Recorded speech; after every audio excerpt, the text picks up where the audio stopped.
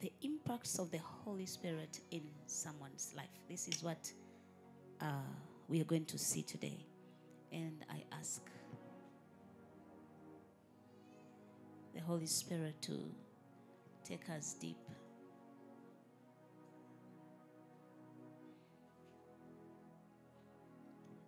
Now, when I'm teaching, you will understand that uh, it's also a bit higher than what you understood.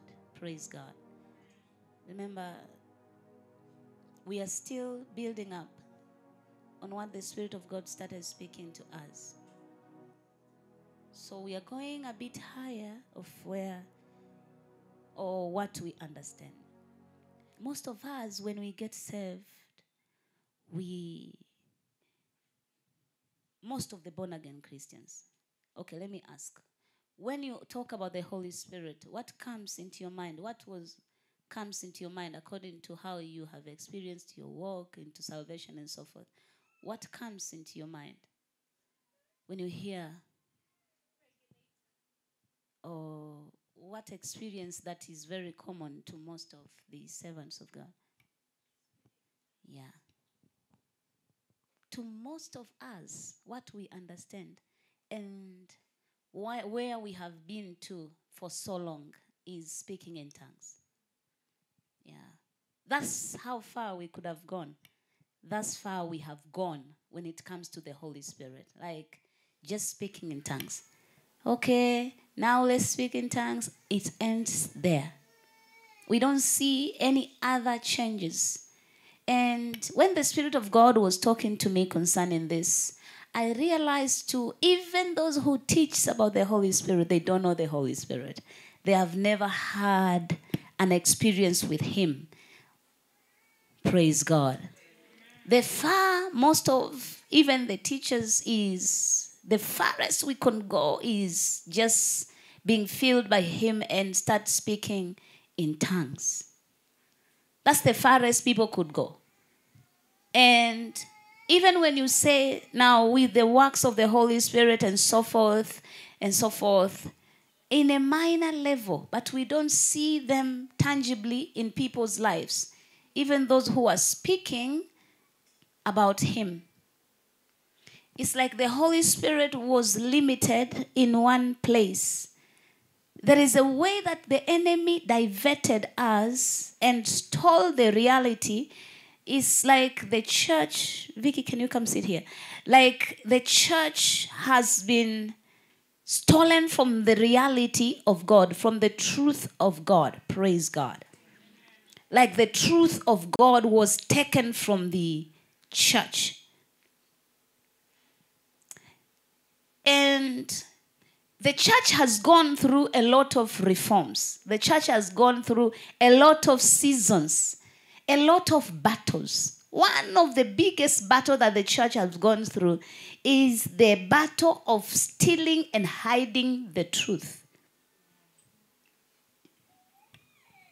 But in the end time, the Holy Spirit will not be contained again.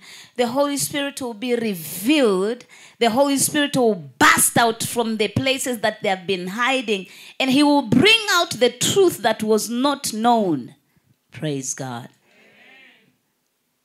The church went through that season and it brainwashed the church to the extent that the church now started acting like just a dormant, a dormant, a dormant power or a powerless person. We have been walking like that for so long. We have not been seeing the church that is written in the Bible. We don't see it. And in the journey of fighting with the truth or hiding the truth of the church, many institutions were established. People now could sit down with their own mind and write, This is how we are going to conduct the order. And the moment they did that, what they were doing, they were taking away the Holy Spirit. The Holy Spirit was taken away from the church. The Holy Spirit, uh, his power was stolen. He was like chased away. we no longer need you. We will move through our understanding. We will move through our knowledge. We will just walk ourselves. We will now depend on our minds than depending on you. The first church was founded on the Holy Spirit. And any church that does not give a chance to the Holy Spirit is not a church. It's just a bunch of gathering of people who are just gathering for their personal interests. Read your Bible. I hope your Bible says so. I hope your Bible is talking that too. And Jesus knew that there is something very important that is needed to the church for this move to go, for this faith of Jesus, of Yeshua, to go and be received in the word, there is something that is very important. That's why he said, Tell you, wait, wait. I'll give you the key. I'll give you the access to the heavenlies. I'll give you the power with which you can access heavenlies anytime and with which you bring change to the world. Praise God.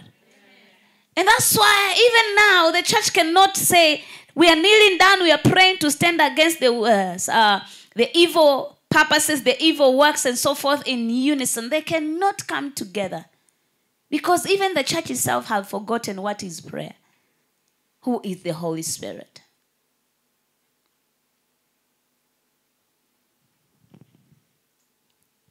We adapted everything you know, what is happening right now is that um, people who could not go with the lead of the Holy Spirit, who could not follow fully the way of Jesus, a crucifixial life, a sacrificial life, they had to sit down and come out with the doctrines that will be a little bit easy to them.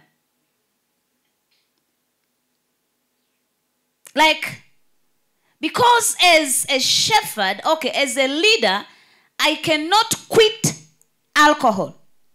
So I'll sit down and come out with a doctrine that will give you a chance to consume alcohol. Because as a leader, I couldn't quit fornication. I'll come up with a doctrine that will allow and accommodate anyone anyone, even those who are doing fornication, that they may feel comfortable in it. But that's not the purpose of God. Because as a leader, I couldn't stop taking corruption and being a thief. So, what would I do? I'll come up with a certain doctrine that will accommodate thieves and corruption takers. And that's when many denominations came out. Hello? And by doing that, the church was walking away from God.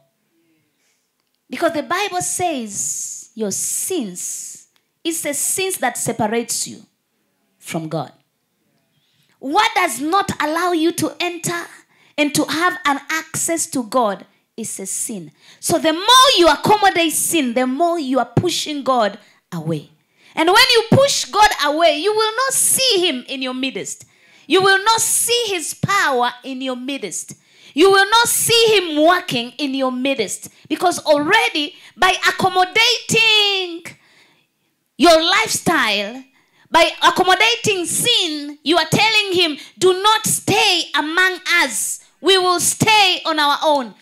Instead, we will allow Satan to be with us, not with you, God. Hallelujah. So these have made a church to be like, hmm, I call it a toothless dog. It's just a barking dog, not biting. You know, we have our beautiful dog, Joy. Joy would climb on top of the building and start backing, and everyone in the street, even those who are coming from afar in the street, if you're crossing that far, that far, he will, I mean, she, she will back, back. And everyone will be thinking, hey, in that house they have a big dog. Now, when you come to see, it is small like this, it, it doesn't bite, it just jumps, comes to you, and so forth. That is the church. When they, we sit down, the current church, we sit down and people sees our orders and so forth, our collars as, pa- uh, as pastors, as bishops, our cups and so forth. When they see us, they see, oh, mighty power of God. But little demons, they turn us upside down because we have compromised. I was with someone from the US and he was praying and he was like, I ask mercy for God, from God. Um, we are praying for mercy for our nation because the nation that was exporting the power of God is now exporting a lukewarm Christianity. So, them, they are repenting for exporting lukewarm Christianity. While us, even this morning, the Spirit of God was talking to me, was showing me some places. Now, us too, we think them they are repenting as we are taking as it is and we are bringing it to, it, to the church. Forgetting that now is a season of Africa to rise up with power that we can export the powerful gospel. Praise God. And the powerful gospel comes when we embrace the Holy Spirit, the ways of God. Salvation is not easy. I'm still looking. Help me looking for someone, that person. You know the song I'm about to say. The person who said Tambalale, Kwayes Tambalale, please find me. Can you please search? Who composed that song? Salvation, do not be lied. It's not like that. It's a matter of self denial, it's a matter of sacrifice, it's a matter of crucifixion. It's a daily, daily denial, daily carrying the cross. Daily. I say daily. You don't just carry a cross in January. There are those who will just fast in January and they will end up two days in January and they are going on. Some they just enter. Salvation is not like that. Salvation is not easy the way you think it is. But it is possible to live a holy life. Because the more you crucify yourself, the more God shows up. The more you crucify yourself, the more the Holy Spirit comes upon you. So the impact impact of the Holy Spirit in your life. Now, beyond speaking tongues, speaking tongues is just a sign. Praise God. When the rain is about to come down, what sign will you see? Eh? So are the clouds rain? Hello? It's just a sign that you are filled with the Holy Spirit. But it's not the really manifestation of the Holy Spirit in your life. There is something beyond speaking in tongues. And that's where the Spirit of God wants us to go to. Beyond the curtains, beyond just mere speaking in tongues. He just doesn't come up and make you speak in a new tongue. He just doesn't give you only the power. He just doesn't give you only the gift. There is beyond. And the more you speak in tongues, you are ushered to another level. And when you reach that level, when you push more, you go to another level. This is the mystery of the, the spiritual realm. You go from one step to another. The more you crucify yourself in one step, you will access the other level. Even speaking in tongues itself, do we speak? How many hours do you speak in tongues a day? Ask your neighbor. How many hours? How often in a week? How often in a year? Do we even speak that tongue itself? We don't. I remember our days when we were getting served. Now we will go to church when we born again. Those years, I'm talking about more than 25 years ago. Um, we go to church and then we, we come in the church, we worship, we, shop, we worship, then we say, now it's time to speak in tongues. We speak in tongues and then we get silent. That's all. I don't remember us being told to go home and speak in tongues at home.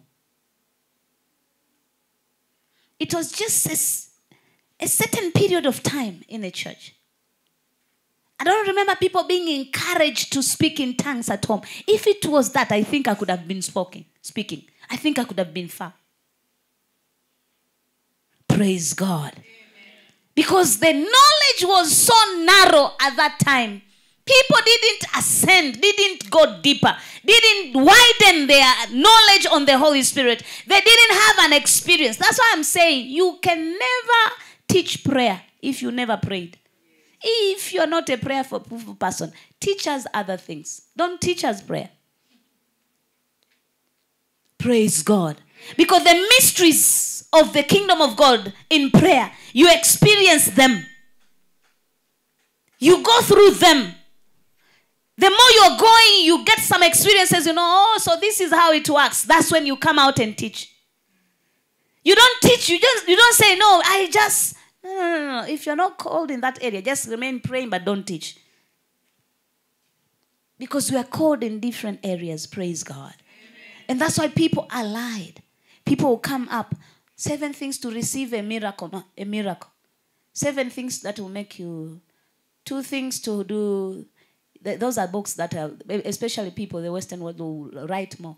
Seven things to have an answer to this. But with the Spirit of God, when you say seven, He can give you a thousand. Even though that thousand, He will say, I'm just training you. Not yet.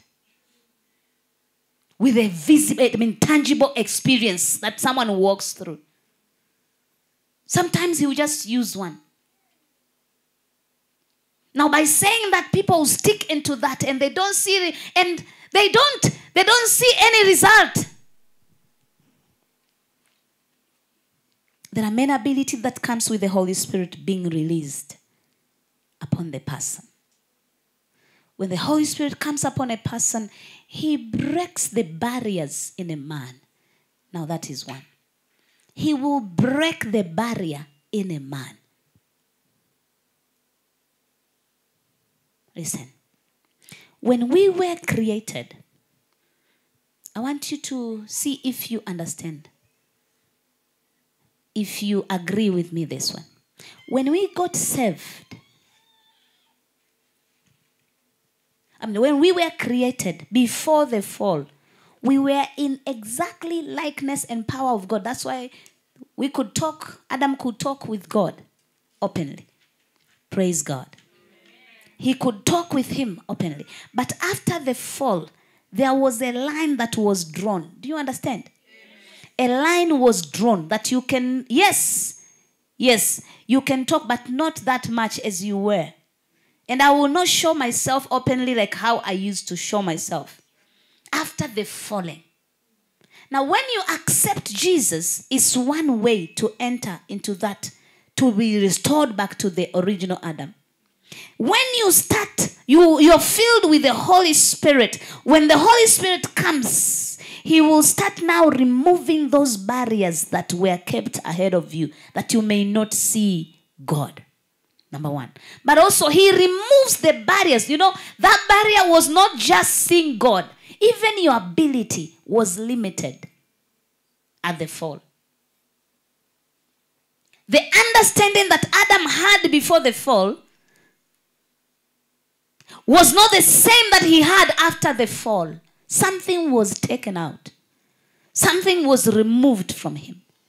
Even when it comes to functioning of your brain and understanding, something was tempered after the fall. So when you get saved, you're saying, I'm coming back. And when you're filled with the Holy Spirit, you start engaging yourself with the Holy Spirit. Things start changes, changing. The Spirit of God will start removing or installing whatever was taken away from you. Remember, He is the only one. Mm, Holy Spirit. Holy. Pray that song. Remember, the Bible says He's the only one who can access the heart of God, right? Do we agree? He's the only one who can see in the heavenlies and take you there to see the things in the heavenlies. Praise God. Now, before the fall, you Adam had an access to heavenlies, just at a blink of an eye and so forth, translated to heaven and come back and, and do this. But after the fall, the access was blocked. That's why we do every not everyone who can have an access now, unless you start walking with the Holy Spirit. Now, when He comes and you start engaging with Him, He will be downloading, He will be opening heavenlies to you, He will be opening mysteries in the heavenlies. Mysteries not only concerning heaven, even the mysteries concerning this earth. There are things that are still hidden here on earth, we do not know them. The Holy Spirit is the one that will remove that veil, that barrier, and give us access to see the things that are hidden here on earth. When you're told, mention, let me give this example. When you're told, mention the minerals that are around the world, people mention that what they have seen. But in the end times, some of them will be discovered that are not even in the books. Hello. The Holy Spirit removes the limitation. Like because of your falling nature as a human being, what you do, you were limited. This is the only place that you go. This far you will go. Beyond this, you will not go. But when the Holy Spirit comes on you and you start engaging, walking with Him, you will start, you will have no limitation. Most of the limitations that you have is because you have not allowed Him to install the godly nature in fullness in you.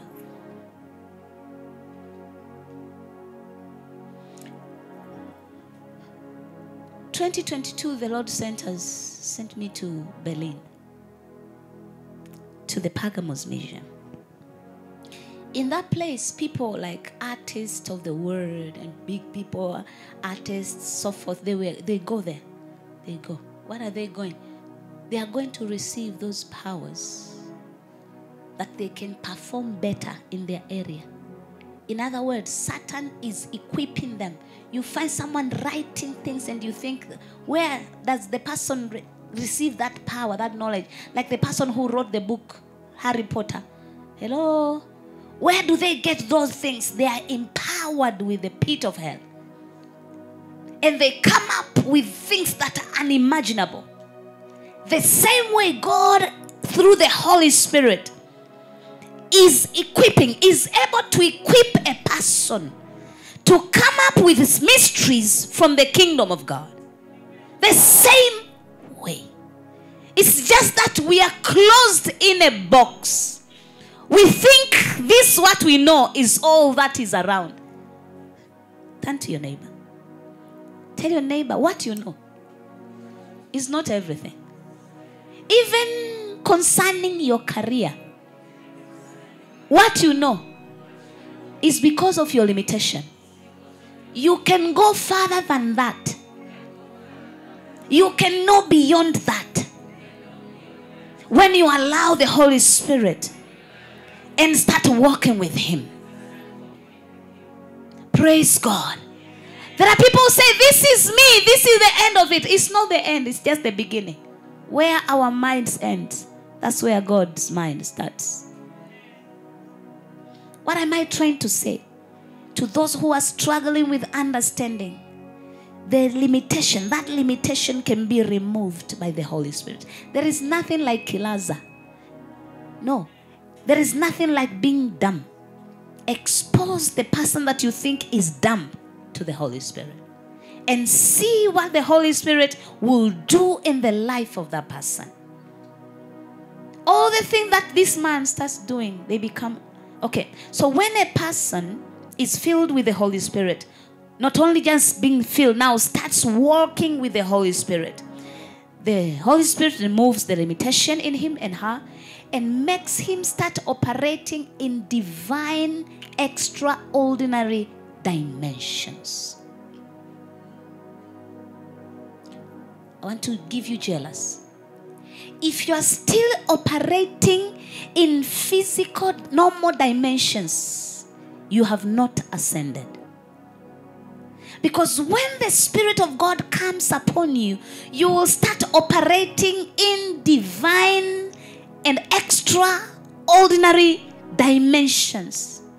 There is a way you will know things that people does not know. There is a way you will handle things that people cannot handle.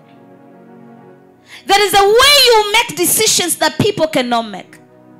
There is an understanding that is only available to those who are walking with the Holy Spirit. There is ability in people that can come upon them, which is beyond human understanding when they start walking with the Holy Spirit. I have the proof, I will show you. Praise the name of the living God. All the things that this man starts doing, they become a wonder. There are people who were not, they were nothing. But when they were exposed to the work of the Holy Spirit, intimate work with the Holy Spirit, you start wondering, this one too? See how the person have changed. See how this person is doing things.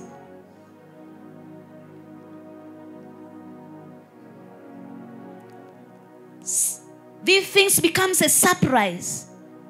They become things that people will be amazed of. And when God wants to differentiate you among your peer, He will install more of His Spirit in you. When God wants to make you a wonder, when God wants to make you a miracle, when God wants to make you an amazement, when God wants to make you a testimony, He will release more of His Spirit in you.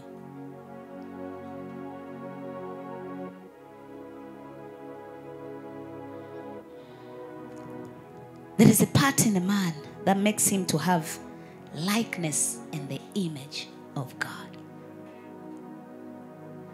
When you receive the Holy Spirit, it's God who is coming in you. Praise God. It is God who is coming in you. And if God comes in you, He doesn't come half half. Hello? And when the Spirit of God comes upon you, it's God who is entering you. Now, when He comes, He doesn't come half half, He comes in fullness. Fullness of His understanding, fullness of His wisdom, fullness of His knowledge, fullness of His power. He comes in you.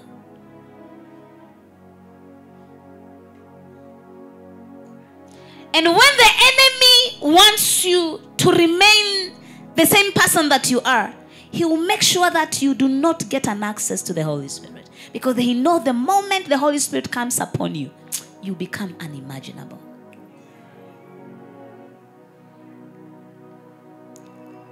The thinking, the knowledge, the wisdom, the understanding, the power of God comes upon us when the Spirit of God comes upon us. You can never be walking with the Holy Spirit and become a normal person.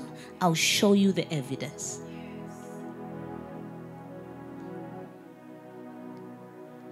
You cannot be having, never be having an intimate walk of the Holy Spirit closely with Him and become just like other people.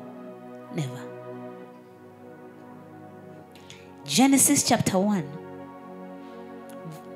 verse 26, the Bible th- says, Then God says, Let us make a man in our own image, according to our likeness, and let them rule over the fish of the sea, over the birds of the sky, and over the cattle, and over the earth, and every, every, over every creeping thing that creeps on the earth. So the purpose of God was to make a man in his likeness and in his image and send and put that man on earth that that person can reign here on earth as he reigns in heaven.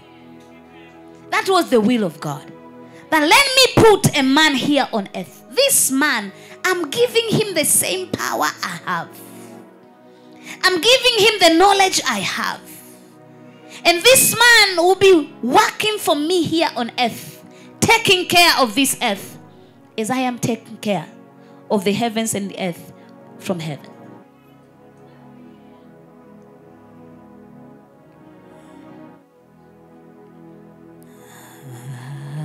Hallelujah. Hallelujah. For the Lord God Almighty reigns. Genesis 2 7, the Bible says, okay, okay, before I go to this.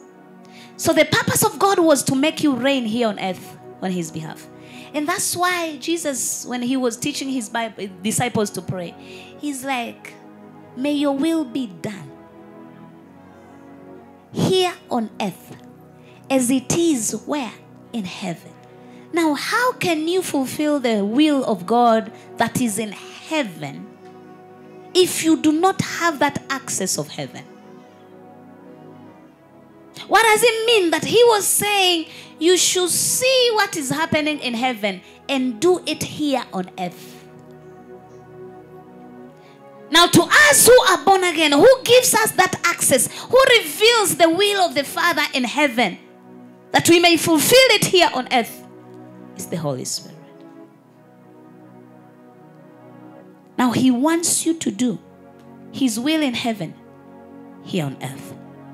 Genesis 2 7, He said, Then the Lord God formed a man from the dust, from the ground, and breathed. Can I have calmness behind there? Let me have a settlement. Then the Lord God formed a man from the ground and breathed into his nostrils, nostrils the breath of life, and the man became a living being. God breathed. That breath you see in your Bible now, on top of that breath, write the Spirit.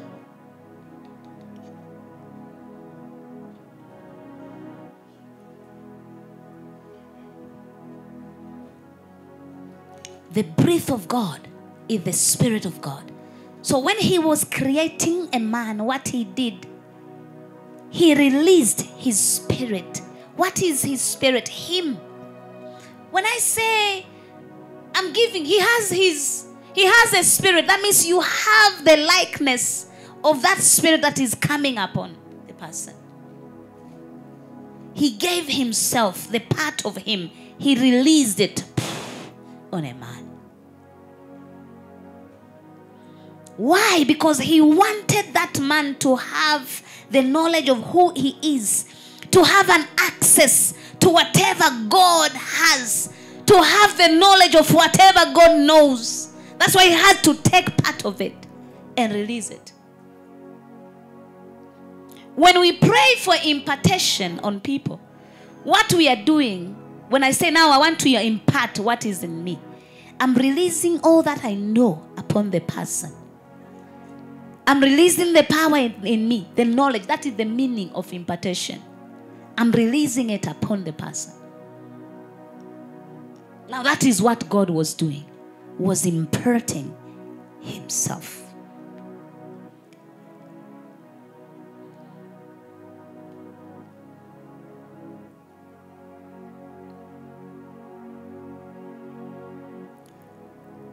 The second work that the Holy Spirit will do in a man is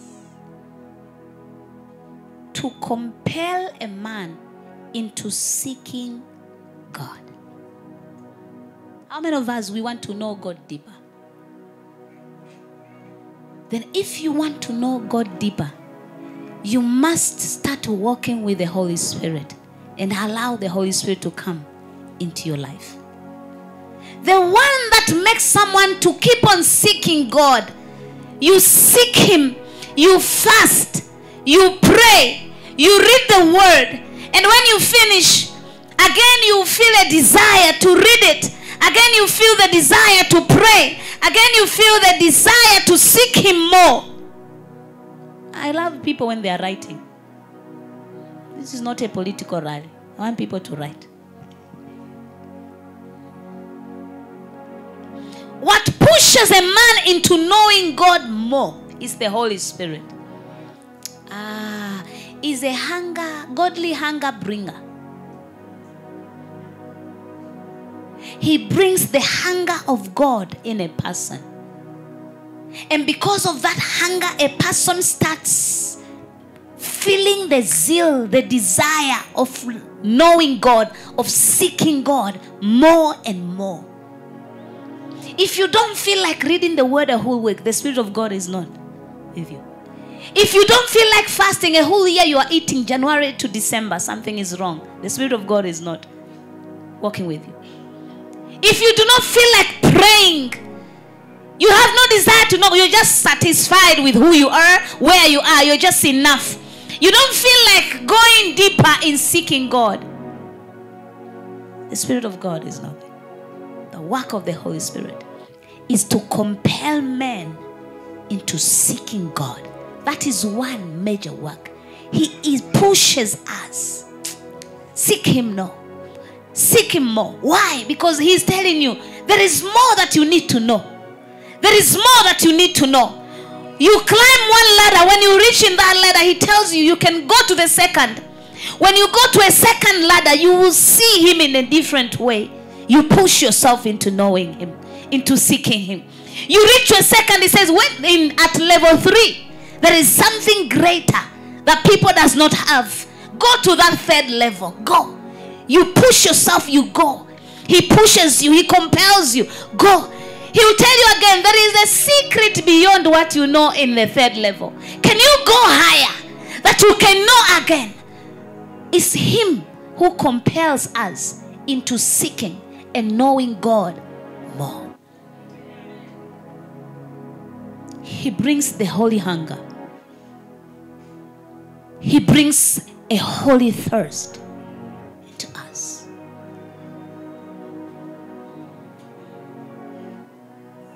That's why you see people, they're asking, Why are you fasting? Why are you praying too much? Why are you praying too much? The Holy Spirit is pushing me.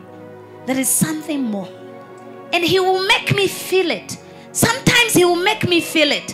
I'll feel that there is something. And how He brings it, sometimes He will show you this is where and this is what God wants to give you. Can you push it that you will receive it? He shows you. Now, the problem is when He shows us, like, this is where God wants to take you, this is what God wants to give you, this is what God wants to handle it in your hands. The problem is when we see it, we sit down. We lack consistency, we lack the dedication. That's where we miss. We do not miss because God does not want to give you. Mm. There, is, there are things God wants to give you.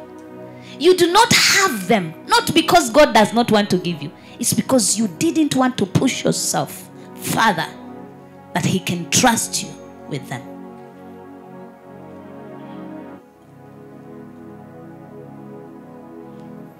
When God shows you where He wants to take you, the enemy knows that you want to ascend. So automatically He will create environments and situations. This is the secret you need to know.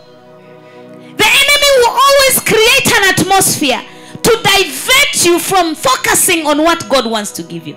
I pray that God will give you the grace of focus.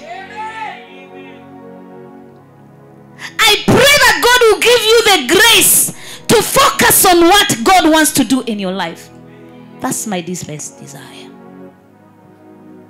If there is something God has given me, is focusing. I don't know. Now that is the Holy Spirit.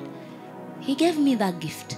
Me, when you, he, God says front, my sister, my brother, my daughters, my sons, front. And if you want to be my enemy, try disturbing me, telling me, look aside. Praise God. if you want to see the other part of me, try pulling my neck to the other side when God is saying this is the direction. And this is what have helped me to grow and to see him mightier. He compels us. He knows the goodness of God. The Holy Spirit knows the power of God. He knows what God is capable of. He knows what He can do to you. He knows. You know, this Holy Spirit, He knows your file in heaven. What is the content of your file in heaven? He knows. And that's why He's pushing you more because He wants you to have all that is written in your book, in your file, in your blueprint in heaven.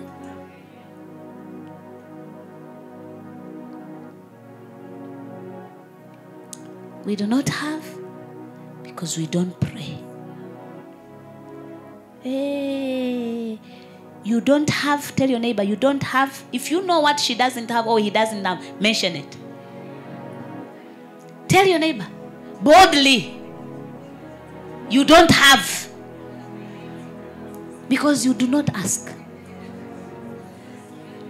Did you speak? What is it?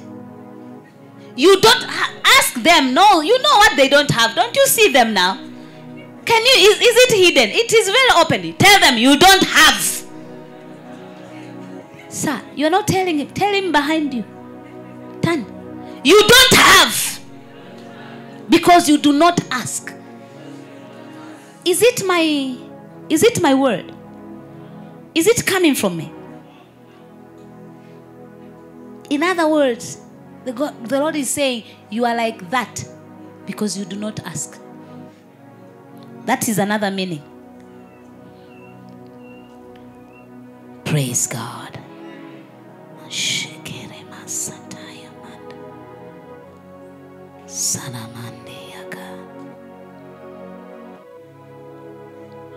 Shirimanda Yamanda Yaka.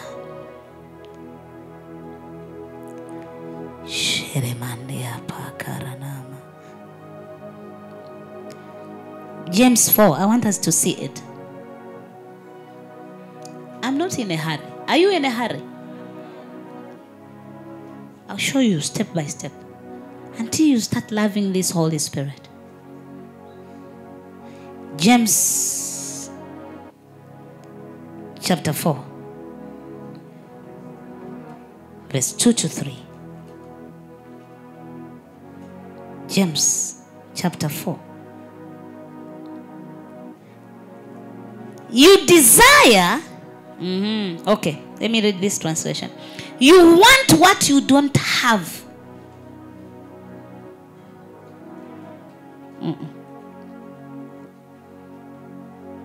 So you scheme and kill to get it. You are jealous of what others have. I love this translation. You are jealous of what others have, but you can't get it. So you fight and wage war to take it away from them. Destroyer, destiny killer. Because you don't have, you don't want others to have. Yet you don't have what you want because you don't ask God for it. You are jealous because you don't have. You are jealous of the success of someone else.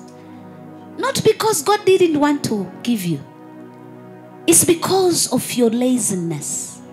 Tell your neighbor, your laziness is the source of your problem, madam or sir.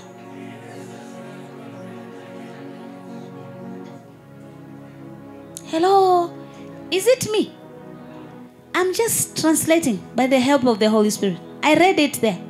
You don't have because you don't ask. You don't have because you don't pray. In other words, he's saying the prayers you're praying are capable of giving you what you have now. Hmm? Aren't you laughing at yourself? All the prayers that you're praying, all the fastings that you're fastings are only capable of giving you what you have now. In other words, the level of, of prayer that you're praying is capable of making the you of now.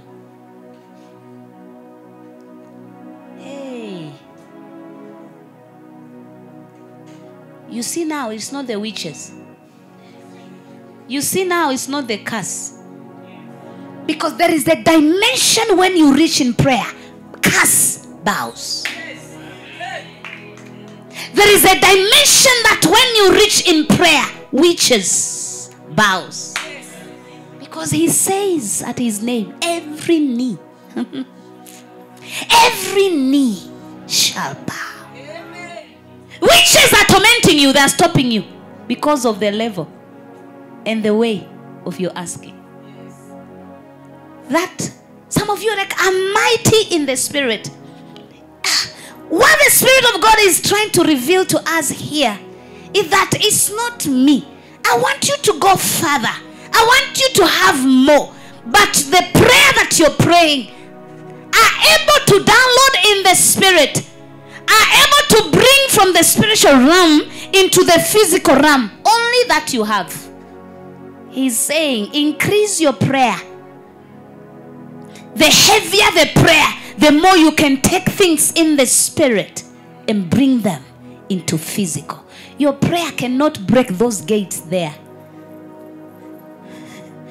Hey, what a beautiful vision I'm seeing. Now, this is it. Can I have two people? Come, my grandsons.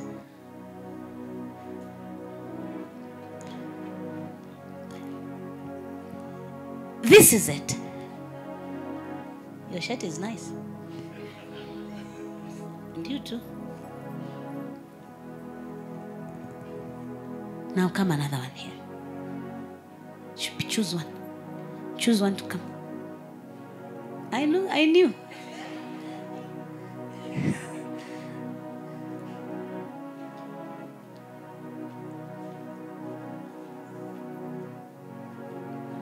In the spirit.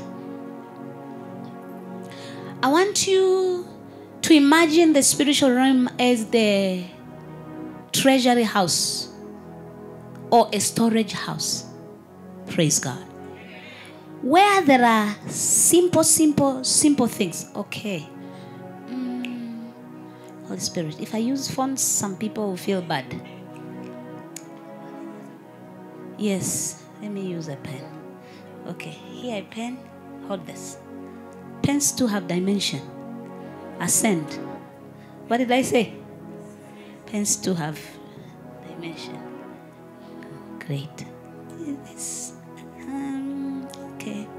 Let's start. Now we start with this.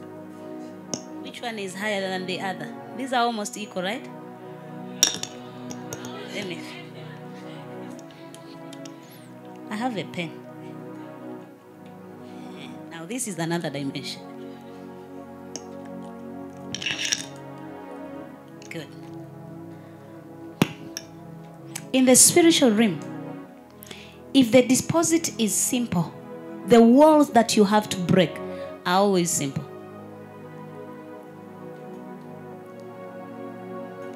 The security system in the spirit that is guarding normal things is always simple. Do you get what I'm saying? Like, okay, this is simple. If you, this maybe this pen is worthy one million. The security to be kept to guard this pen is worthy one million. Maybe just one guard Namshale will be guarding here. Now let's say this pen is worth how much? 10 million. Hold it. You show it. Yes. 10 million. The security system that is going to guard here is strong, equivalent to 10 million. Maybe it's just a guard with just bunduki tu ya kawaida, a normal gun. Do you get it? We go. Maybe this is worth how much? A, hundred million.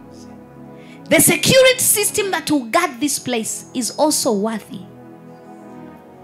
One million. In other words, the, the more expensive, the higher you go on your demand on what you want, the more the security intensifies. Here in the spirit now, they'll put a demon equivalent to God 1 million. So some of you, if you are at this level, it's because your prayer are able only to dismantle a God that guards 1 million. If that is the level that you're operating. I don't want to say monthly, weekly, though you know yourself how much you get. If you're below that, just know your prayer is also lower than that. Do you get what I'm saying? Now you go higher. If this is the level, just know your prayers have pushed you to the ability of destroying the powers of darkness that are holding on 10 million worthy. Hey, praise God, Holy Spirit. If you're operating in hundreds, millions, that means your prayers are able to dismantle the spiritual or demonic operations that are in charge of guarding this much. So now you understand that you do not have because your prayers are only capable of here. This is what James is saying. Thank you so much. This is what James is saying. Is it the problem of God? Now, to, this is an answer to most of you who are saying, I have fasted, I have prayed. You know, even when you pray, we will know that your prayer is worthy how much? Even when you pray. But people are so easy to complain God, why me? I have fasted, I have prayed, I have given offering. I really don't like those people say that I've given you. You don't give, you can't buy God. You don't say, God, because I gave you this now, give me. You are foolish.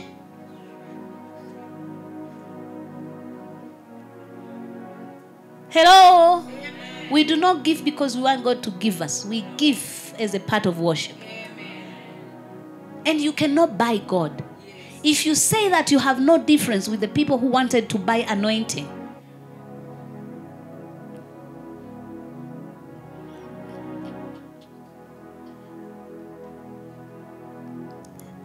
Hello? The issue is your prayer. I tell you with evidence. The higher you want to go, the stronger your prayers must be. And don't just say, I pray. You, you know, you can be praying, but you're not moving. I have seen people praying, but you don't see change. There's someone today, I want her to see me. Just remind me, there is someone you want her to see. She's praying, but her prayer, I'm not seeing changes in that prayer. In that prayer, you don't access change, you don't access power.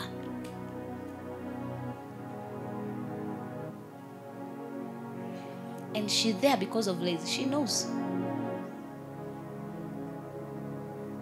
Hello? Hello? Tell your neighbor the Spirit of God compels you, pushes you to go deeper because He knows what is in heaven for you and He wants you to have them. It's like an account. An account has that has a deposit for you. It's there and the spirit have seen it. And he tells you go take take it. Go take that is yours. Go take that is yours. But what are you saying? No i'm tired. And you're still sitting there you're complaining. Life is hitting you left and right and you don't want to rise. There is a dimension. When you enter there is a realm. When you enter the enemy cannot stop you Family pattern, bloodline curses cannot stop you. Witchcraft cannot stop you. Nothing can stop you when you enter that realm.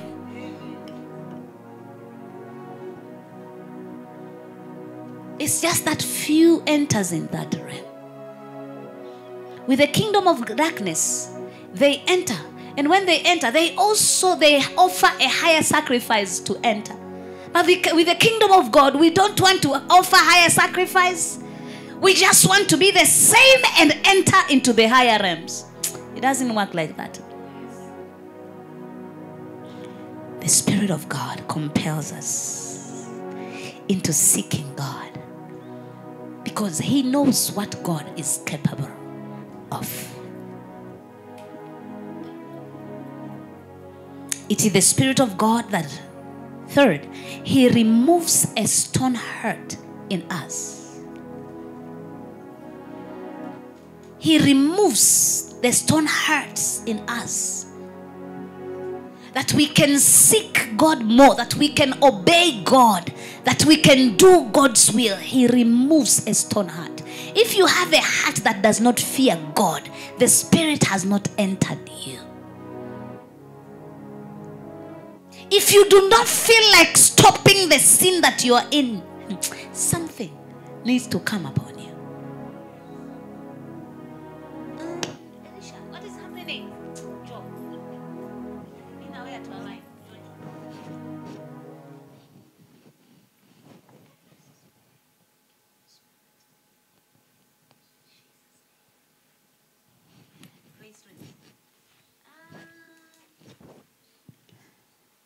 praise god shida ninaona mimi na yeye tu align. kwani shida nini? Ndio maana nimeweka mkono. My spirit should go upon her upon him. Si zinakuja. Praise god. There are people that does not fear god at all. They don't want god. Mina sometimes i wonder god has a lot for you mighty beautiful things. Why do you still want the world? god has something beautiful mighty glorious that he wants to give you. Why do you still choose the world? ask your neighbor for me. Me i don't understand. Why don't you want to let go of the flesh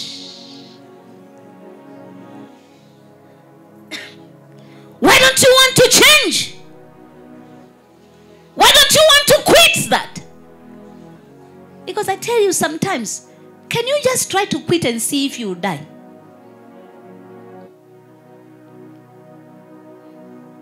Because sometimes it's a matter of decision. Yes. I have decided. I hate the, the self that I am now. I hate the place I am. I hate the situation I'm into. I hate the environment I'm in. I want to change. I want to ascend. I want to accelerate. I just want to go somewhere. Oh my God. So, because of that, I'm quitting. And see if you will die.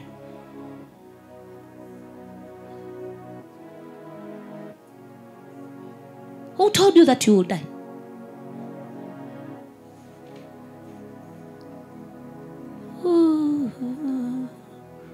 Who told you that you will die?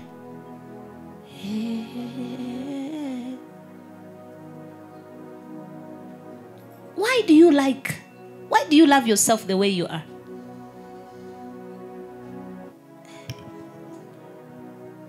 You know, I'm talking, and the Spirit of God is showing me the minds.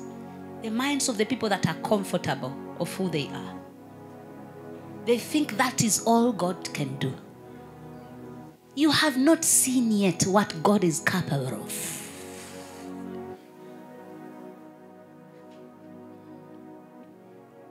Ezekiel 11 19 to 20, he says, And I will give them one heart and put a new spirit within them.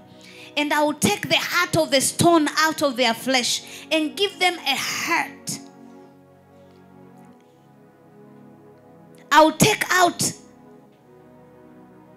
I'll take the heart of stone out of their flesh and give them a heart of the flesh.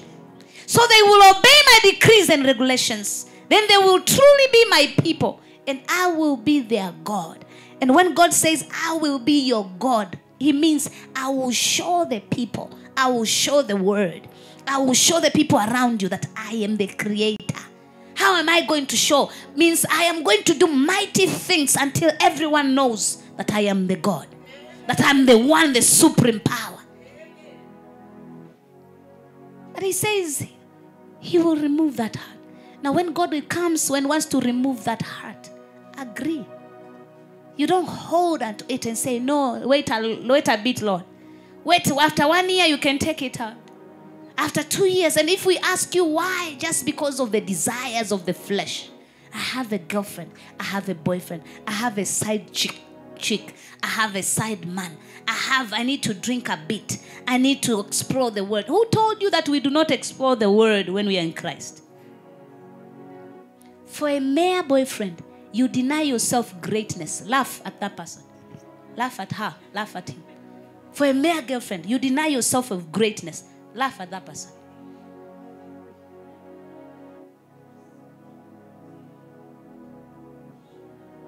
For a mere sleep, a mere sleep, you have denied yourself a greater dimension in your life. Laugh at her.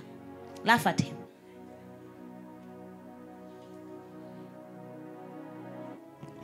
For a mere food for the stomach, you have denied yourself to go higher. Food. What? Food. For a plate of food, tell him or her, eh, Esau you. You are ready to sell your birthright. You're ready to sell your power for food. For what? Food. You don't have because you don't ask. For food, for sleep, for people, for friends, you're ready to deny Jesus. You have imagine how foolish you are and how heaven is thinking. Imagine for a friend, you have decided to be poor because of friends. Because if you decide to go to Jesus fully, you're like, what are friends going to say? Now, what does it mean? You have chosen friends over the destiny of your life. Praise God, you're not my sister, you're not my husband.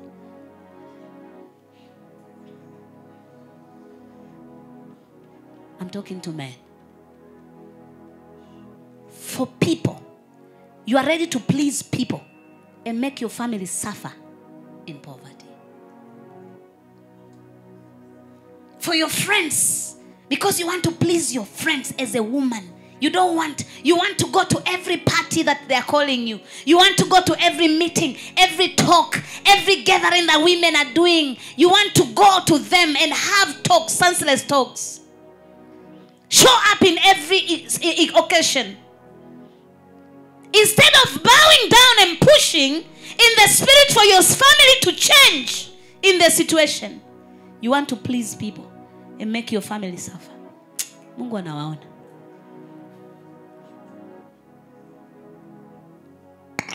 Where are the women who are going to push things in, in spirit until they happen? Where are the men who are going to stand and take a lead in the spirit and say, My family, this is the way we are going with it. And we are not quitting on this way until we see the hand of God in our lives. If you are a man and it's your wife who is pushing you to pray, you have sold your birthright. When the, the when the word says you are the head in Ephesians, you are the head of your wife, you're the leader of your family. You should lead them even in the spirit. You cannot lead your family if you are not leading them spiritually. In real sense, you're the one who has to pray more. May this message reach my husband wherever he is in Jesus' name. Atokee tu mbea send him the link. Sir, make sure you listen. Hallelujah. Hallelujah. Leading is that. You should be the one. If your wife is fasting 10 days, you should go to 20. Because you're a leader. Busy yelling at other people. Ah, what kind of leaders do we have in the nation? Are you a leader in your family? Are you? What kind of leaders do we have? What kind of this and this? These leaders are lazy. Are you a leader?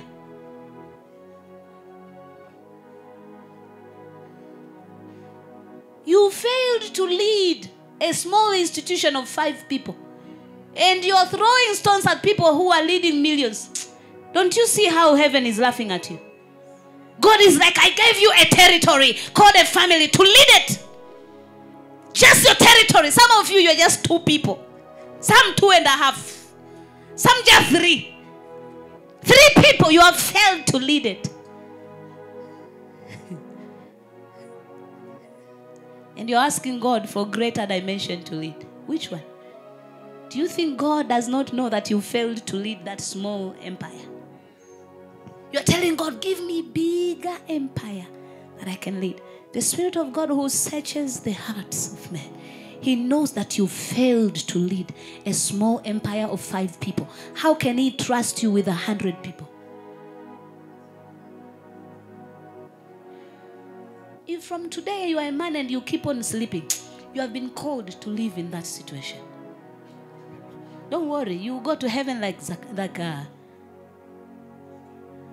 no no no like, like Lazarus. But if you're choosing to go like Abraham in heaven, then you must change.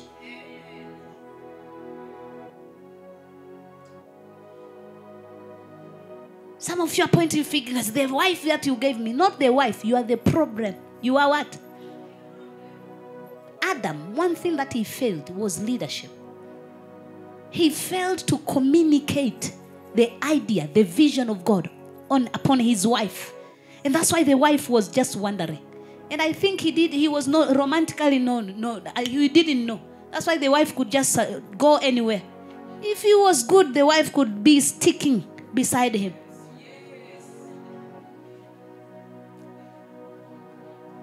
It's not marriage subject. Remove the hard heart. Allow the Spirit of God to work on you because that was what also He does. He wants it to go out. That you can say, it From today, I'll do anything and sacrifice anything for Jesus. Number four. Is it four or five? The Spirit is the Spirit of God who enabled Moses to have the relationship with God.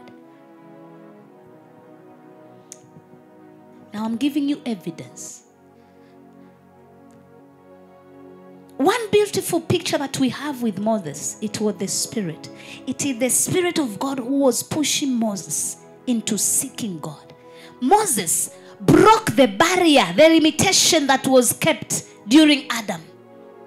He went higher in the seeking of God. He denied himself, he sacrificed everything until he went to the level that Adam was operating before the fall. What do I mean? It is Moses that the Bible says he could talk to God face to face, just like Adam.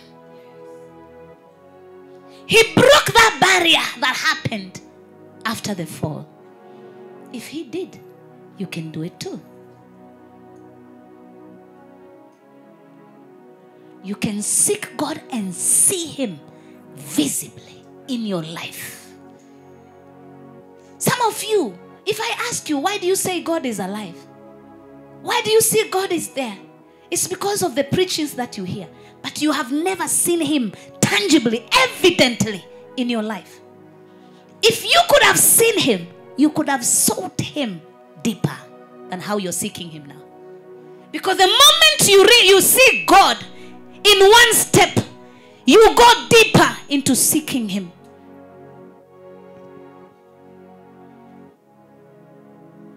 Moses broke the barrier. If he did, you can do it. And people are saying, no man can see. People, I went to college. When I was in college, there was a conversation.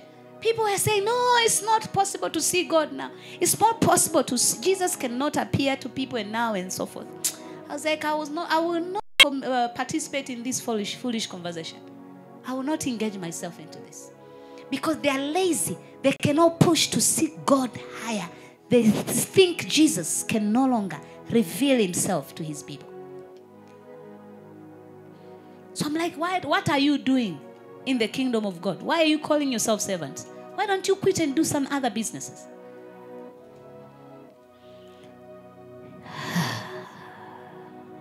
Before the tabernacle was built, Moses used to seek God outside the tent. In Exodus 33, you read it, all of it. And Numbers 7, verse 89. The Lord will speak to Moses face to face as a man speaks with his friend. Exodus 33, verse 11. The other person that we see, God could speak with him.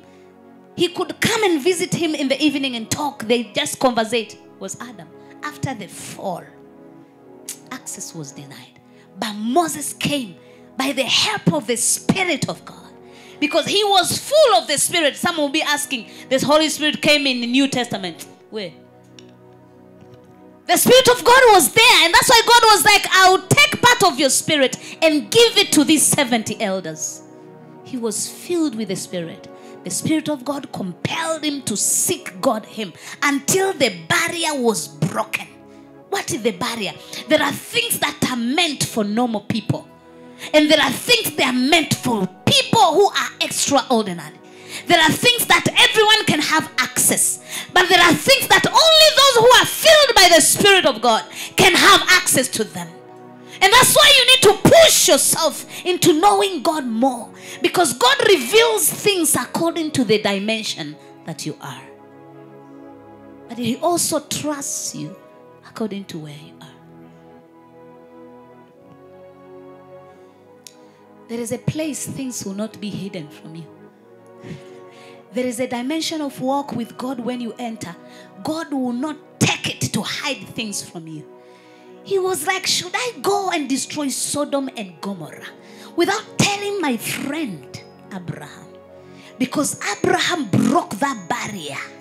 He loved this God. He sought this God. He was ready to sacrifice anything for him to see God. He was like, a son, a just mere son, I'll give him to him, him to you if you want. What do you want, God? Just normal offerings? What do you want, God? Me to leave my father and my mother to follow you? I will leave everything for you, God. And God said, This man is my man. This man is my man. This is my man. Can God say, That is my daughter, my son, there on earth? Can God put a coin for you? Because of the sacrifice that you have made. Some of you, you're not even ready to express your faith before your family members. You don't want them to know that you have Christ. You're ready to compromise. This is July, five months before December. You're hearing this message and utakuwa umekusanyika Kishumundo. And yet you want God to trust you with many. The biggest test to chaga people is to leave their father and their mother. I repeat, all the chaga write this. The biggest test to chaga is to leave their father and their mother. I think you should read the story of Abraham many times. Because that's where your test is.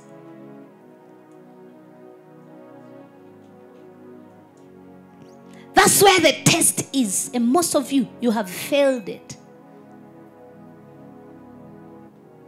And the second you know it, what is it? What is it? Wajibu wachaga, what is it? Money. Lust for money. You fail to operate where God wants to take you. Praise God. In Numbers 11. Numbers 11, you see the story of 70 elders. God saying, No, I'm taking part of the spirit of you, Moses. The spirit was upon Moses that pushed him to seek God deeper until the limitation was removed. With God, there is nothing that He cannot do. It's just that you don't ask.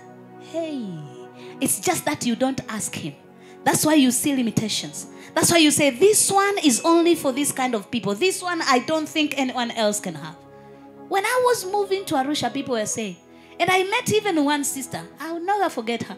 She said, when it comes to minings and minerals, it's only people, there is a lot of witchcraft, so only non born again people can do. She's foolish. If that is all, the only problem is witches, then you have Christ. Why don't you bring your Christ into witchcraft? What you're trying to tell us is that witchcraft is stronger than God. There are things that are made, people they say they are just meant to certain kind of people. But when you seek God deeper through the help of the Holy Spirit, every barrier will be broken. There are dimensions that people say no man can reach. You can reach in Jesus' name. There are levels that they say man cannot ascend to. You can ascend to in Jesus' mighty name. There are things that people they say you can never possess. You can possess. I'm not talking about your school here. I'm talking about the power of the Holy Spirit. I'm not talking about the network that you have. I'm not talking. this Spirit of God can break the protocol of networks. If you have zero network and you have the Spirit of God, this Spirit will break the limit. Will make you ascend to dimensions that man can never ascend. It must show. Let it show that you have God. Not just by talking. Let it show that you have a different God. Let it show that your God is powerful than them. There must must be an evidence that you have God. A strong evidence through your life. May you seek him. May you ask him until that limitation is broken, until everyone who sees you say, No, that one has God. That one has God, has God. That one has God. When they see you in the streets, when they see you when you pray, when you open your mouth to pray, let them say, No, has God. When they hear you speaking, let them say, No, she has God. He has God. When they see how your business is operating in a way that they don't, they are not used to, let them say, You have God. Let it show. Let it show. Let it show that you have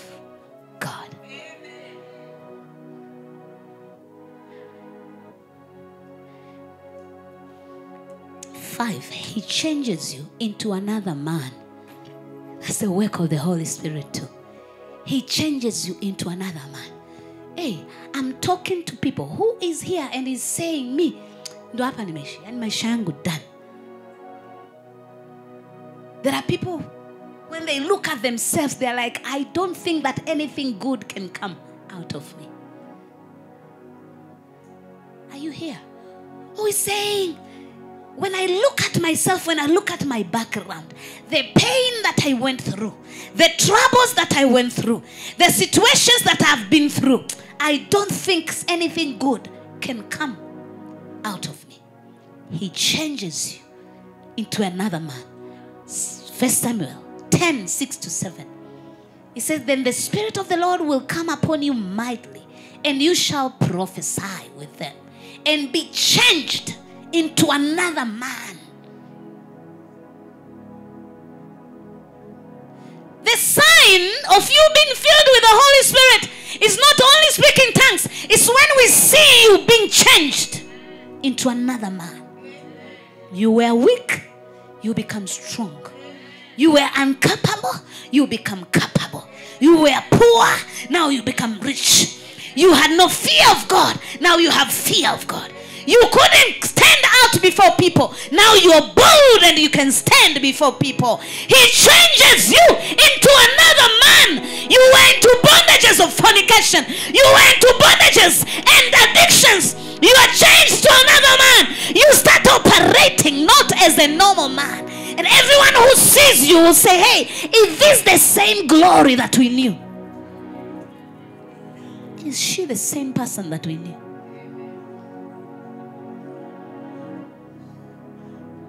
When he comes, he will change you. Just allow him. Allow him. Ask, seek, knock, seek him. Tell him this afternoon, I desire you. I want to change.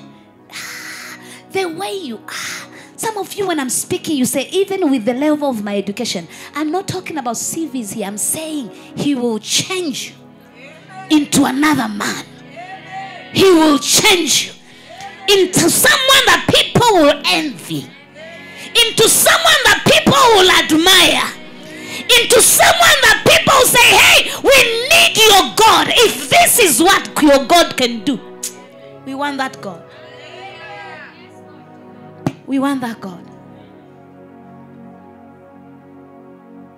He takes people from mud, He washes them, He raises them, and He makes them sit with the kings.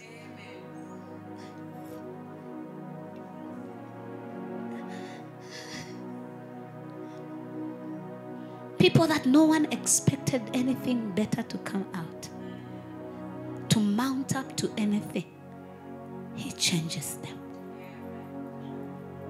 This Spirit, when He comes, this Holy Spirit, when He comes, Saul was changed into another man. David was changed into a mighty man. In 1 Samuel 16 13. Then Samuel took the horn of oil and anointed him in the midst of his brothers. And the Spirit of the Lord came mightily upon David from that day forward. And Samuel arose and went to Ramah. This is David. That even the relatives, we are saying this, we are the only number. We are the only people that are in this family. That one, we cannot even number him. He is not even worthy to be counted as one of us because he is nothing. But when the Spirit of God came, the one who was low became higher than all of them. May God raise you among your siblings. May God make you great among the people who sees you as nothing. May God make them come and bow before you. May then come and seek your God. May they come to the help of you, like how he did with Joseph.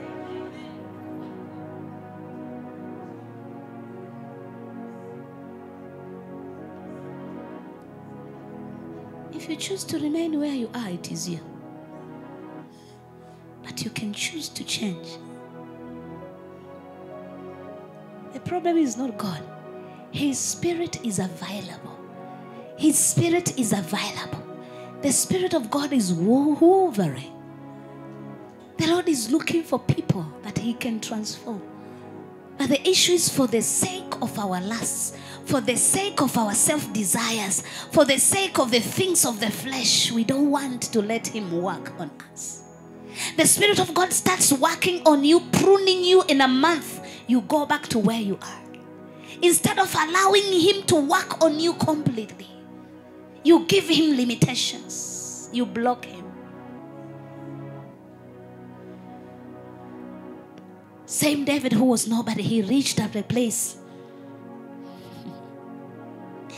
His whole life was changed when the Spirit was released upon him. Most of the psalms that David wrote was, was prophetic work, was the influence of the Holy Spirit that came upon him. Read yourself Acts 1:16, Acts 4:25.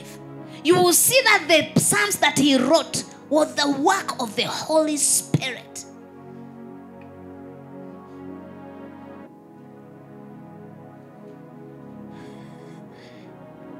He came and say, Oh God, you're my God. Earnestly I seek you. My soul thirsts for you.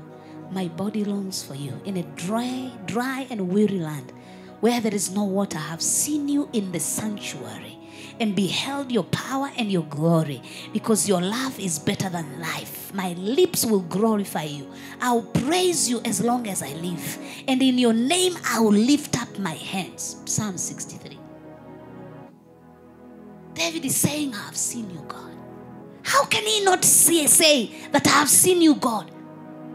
How can he not say, I have seen you, God?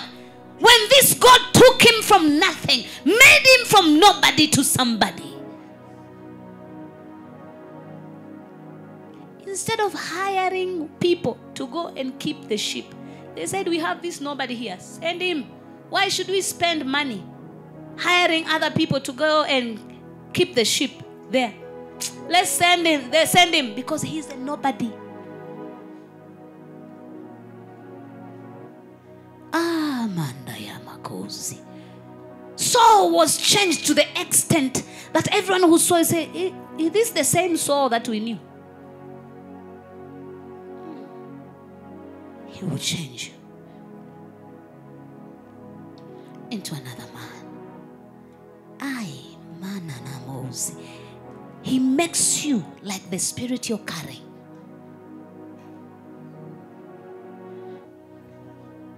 That's number six. He will make you like the spirit that you're carrying. When the spirit of God comes of comes upon you, it will change you and make you like the spirit you're carrying. Now, I want to explain a bit deeper here. To everyone, there is an assignment. Hello? When the Spirit of God comes, it will change you and make you look like the assignment that you're sent to do here on earth. Say, what am I talking? That is John. Because the assignment he had was irrelevant to the assignment that Elijah was doing. When the Spirit came upon him, it changed him until people could see some of Elijah thing in him.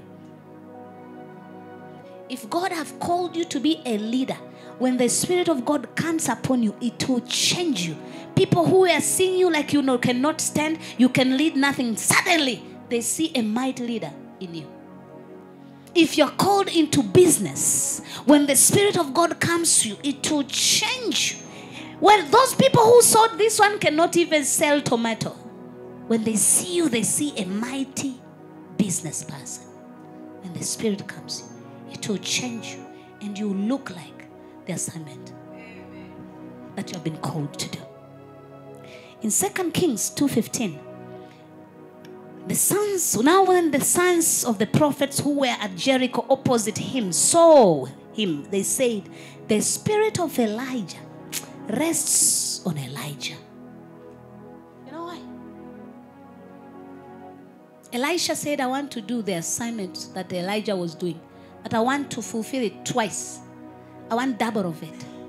When the Spirit of God came upon Elisha, he was changed. These people, when they just saw him, they saw this one also has a spirit of Elijah. Even before he explained anything that happened, they just saw him. The Spirit of God can change you, can change you into a machine that people would never imagine you could have been to.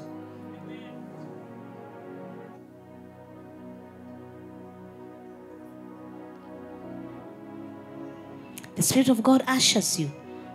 That's number seven. Into dimensions he never you never operated into.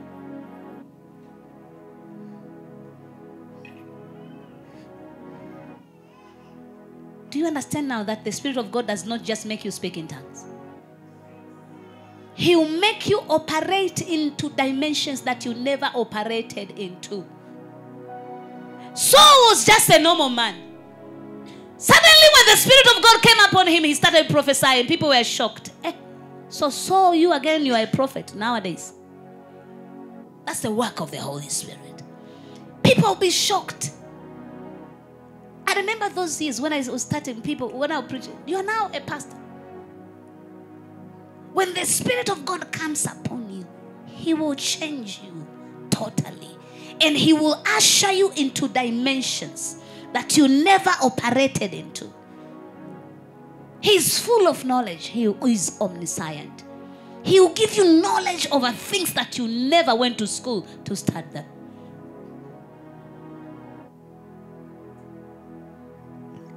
I have seen it evidently in my life. You're just seated, suddenly he will drop an answer. He'll tell you this is how it should be done. Hello. I call it the technical part of the Holy Spirit. He does just doesn't operate spiritually. The spirit he doesn't just work on spiritual part. He can also give you the technical part.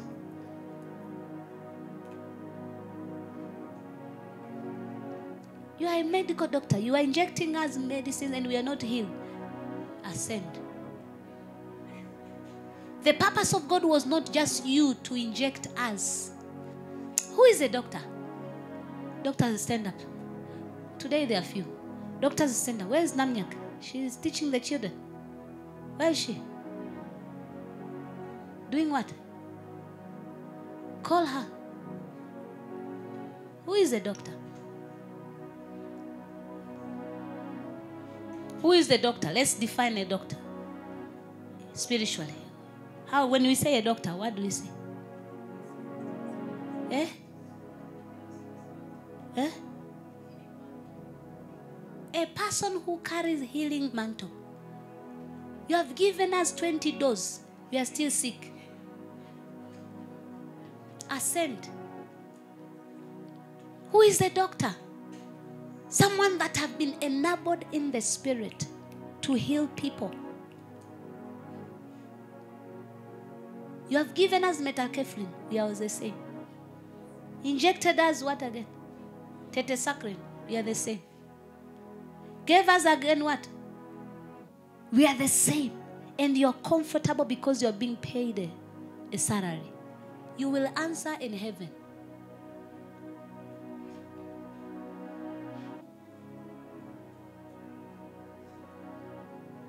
When you start treating your career as your calling, things will change. If you could have invested in the Spirit and ask the Holy Spirit, give me the answer. Imagine you just focus on one disease. Lord, they are saying there is no cure for diabetes. Holy Spirit, give me a tip on this. Suddenly, the Spirit of God drops it in your heart. Only that. Are you going to be the same in this world? You are like that because you do not ask. I didn't want to say the other word because you will feel bad. But you are there where you are because you do not ask. You are called as a medical doctor. You are praying for other things. Why don't you focus on your area? Have you ever seen? Oh, can you try to imagine when the Spirit of God is looking at you and you're treating people and people are just going the same way they can? You rely more on the medicine than His guidance. You enter your duty hours without even being sure that the Spirit of God is going with me. That is your ground to portray the power of God. You're seated people say, No, we will not see another doctor. We will only wait for her. Because when you go to her, you come out healed. Sit down. Imagine when God is ask, will ask you in heaven, why those people died? You have done finance. Hey, God, help me. Where is this going? You have got done finance in money, and you don't have that money. Why don't you ask him the secret to wealth? Because if you felt in your heart, you felt. Um, let me see people who started finance, finance account stand. Hallelujah. Eh, why are you not standing? I saw you. Praise God. Why don't you ask God for a secret code of wealth? Okay, let me ask you. Why did you start that? Why?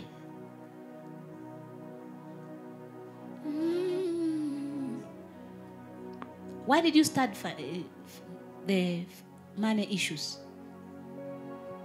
Because since I was young, I was feeling like this. That was my calling. Thank you. Why did you start it, Katip?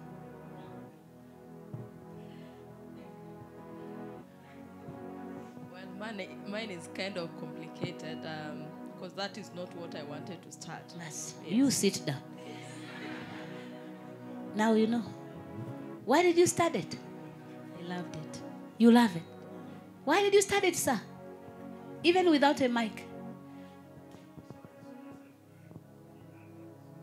You saw yourself good in numbers and said, okay, now this money counting. Why did you start it, my daughter? Eh? You like it. Why did you start it? Because I like it. You like it. Sir, why did you start it? Because I want to manage my business. Your, your, your issue also is different. You can sit. I want those who's, who, who felt like they love it. That was God speaking to you that I'm releasing this anointing upon you. Stand up, Udeme. That is God speaking to you that I'm releasing upon you the mantle of money. Instead of asking Him, God, can you give me a key of one area through which people will say there is God in heaven in this area of money? You're busy praying for other things. That's why you're there. Please be seated.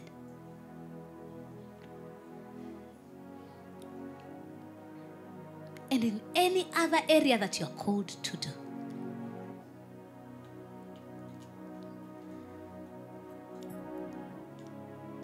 That is First Samuel 10:10. He ushers you to other dimensions.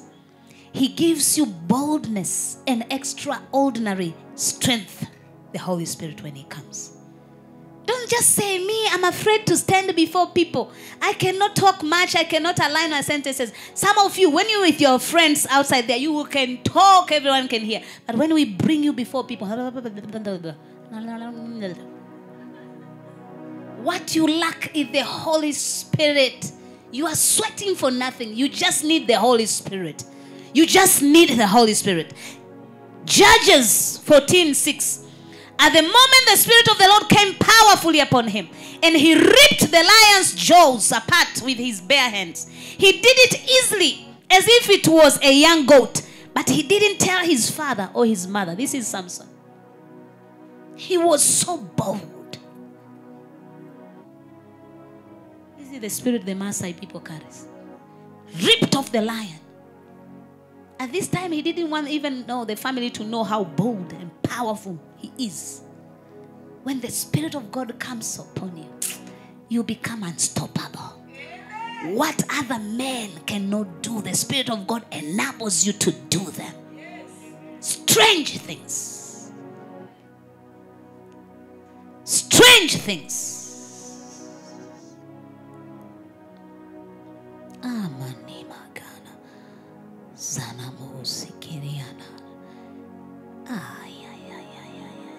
The Bible talks about the disciples that when the Spirit of God came upon them, boldly they stood up and they started preaching. The same Peter who was denying Jesus, that one, I don't know him. A fearful dog. He was like that. When they say, Peter, no, the way you talk, you are one of them. Me? No, no, I don't know him. He's running away. They're saying, Peter, even the way you walk, you are showing us that you, you are the disciple of him. Said, Me? No, no, no. The same Peter who denied Jesus stood up boldly and started preaching the gospel. You are afraid. You are full of fear of small, small things fear of death, fear of losing, fear of failing, fear of so and so and so because you don't have the Spirit. All that you need is the Holy Spirit. And when it just comes upon you, He will not just give you boldness to stand, He will give you also utterances to speak. So if you cannot stand before people and order your speech, there are those people who cannot talk. Do you know that? When they stand before people, they can stand, but they can they don't know how to talk. They'll start the beginning to the end, they will go back to start first. They cannot align their speech. The Spirit of God gives you utterances What you need is to ask Him, give me utterances, words to speak. Help me to speak. Release your words. When I stand before people, according to the situation, give me the words to say. Utterances. He differentiates you. Genesis 41 38. When the Spirit of God comes upon you, He will differentiate you, He will make you different. So Pharaoh asked his officials, Genesis 41 38. So Pharaoh asked his officials, Can we find anyone else like this man, so obviously filled with the Spirit of God? That's also the work of the Holy Spirit to make you different. Stop copying, copying things from people. Ask the Holy Spirit to give you your own code.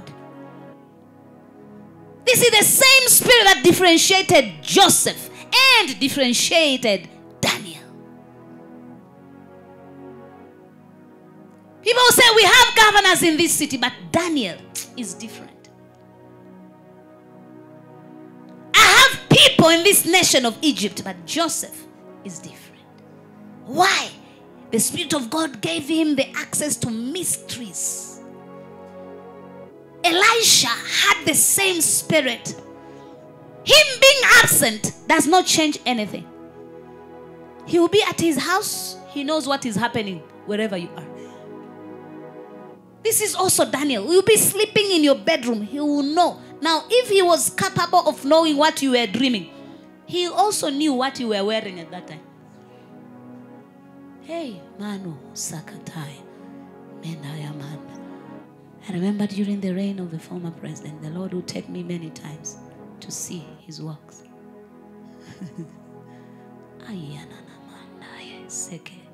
Even now, he would take me to see much things reserved in the heart, not to be spoken.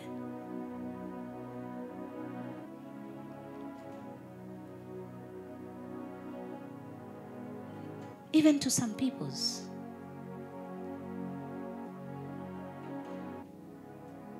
Many times he'll take me to many kings' homes to see them.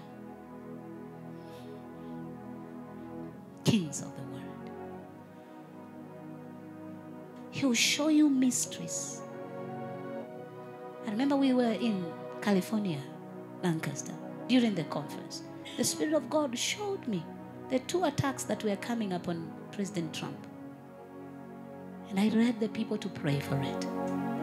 And when it happened, people started calling. They nearly assassinated him. And good enough, I had to sit down and tell some people this is about to happen.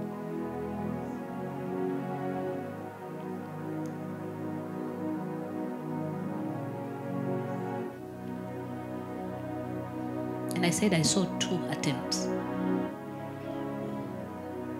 And I saw two attempts. When the first one happened, when I was telling them the second one is about to happen, people didn't believe. And even when the attack was about to be tempted, when they were tempting to attack him, what I saw, the people around him betrayed him. God raised someone from far, someone who was not even that much close. He, the one who rose up to defend him. And I called, told them, the people around him, people around him, watch. So I said, let's pray that God will give him the right cycle.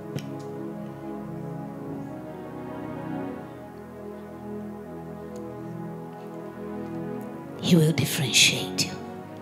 He made Joseph different because of the things that he was revealing to him.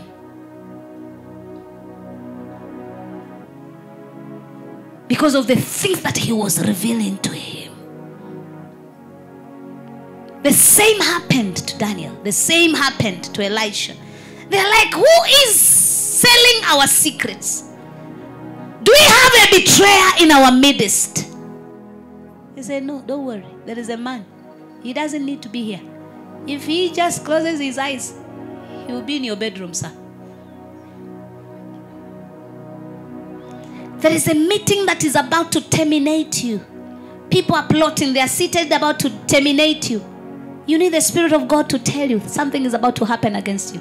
How can, be, can things be happening to you, a son of God, by surprise? Say in the name of Jesus. From today, things will not happen by surprise in my life. I will get an access to know them. People, a letter is being handed over to you. You know that you are being fired after being given a letter. Where is the Holy Spirit? Who searches the hearts of men and knows the heart of God? Who knows the hidden secrets that no man knows about it? It's just that you didn't pray. You have not prayed. That's why people can sit, can plot, can do everything against you without your, your awareness. Praise the name of the living God. Hallelujah.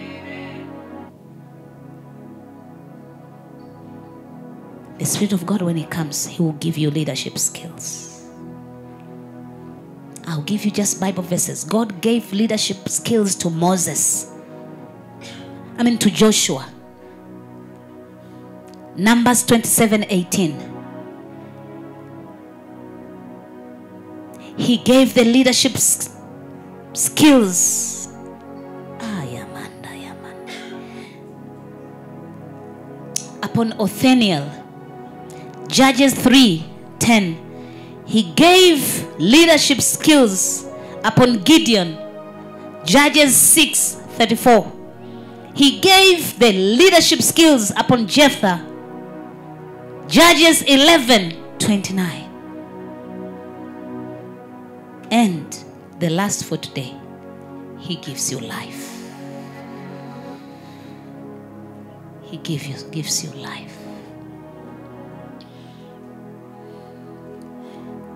There is something that the Spirit of God is showing me. There are people who, in the spirit, they are dead already. In the physical, they are walking. They are just here waiting for the day to go. But because the spirit of death have been released upon them in the spirit, they are done. They are done. Their lives are done. There is someone here. Things and one sign that the spirit of God have been thrown upon you is not just dead, death in physical. Even when your things are stuck, they don't move any longer. It means in the spirit you have been declared that this is your end. If you're here, come to the front as we raise up all of us. Hallelujah. Hallelujah. For the Lord God Almighty reigns. If you're here, things and I say, one of the sign of the spirit of death is this.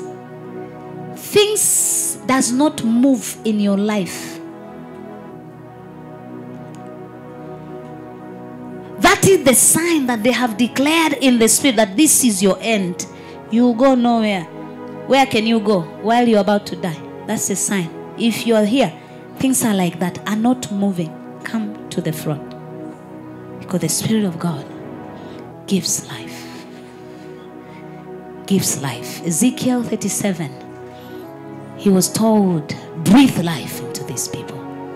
In Ezekiel 37. Ah. In Romans 8 11, he said, The Spirit of God who raised Jesus from the dead lives in you. And just as God raised Christ Jesus from the dead, He will give life to your mortal bodies by the same Spirit living within you.